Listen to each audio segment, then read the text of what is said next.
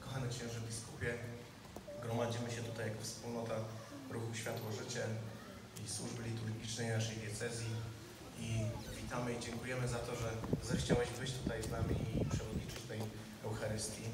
Spotykamy się tutaj w tym znaku roku, krzyż, wyzwolenie, przyjmując tą naukę, że prawda przyjęta o nas samych pozwalająca nam ukrzyżować nasze słabości, prowadzi do prawdziwej wolności dziecka Bożego.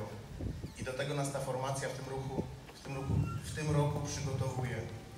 Jeszcze raz dziękujemy tutaj za Twoją obecność i prosimy Cię, prowadź nas i bądź z nami, wspieraj nas modlitwą, a my obiecujemy, że w tym roku również będziemy to światło Ewangelii, tak jak przez 46 ostatnich lat, tutaj tą wspólnotą nieść w naszej diecezji.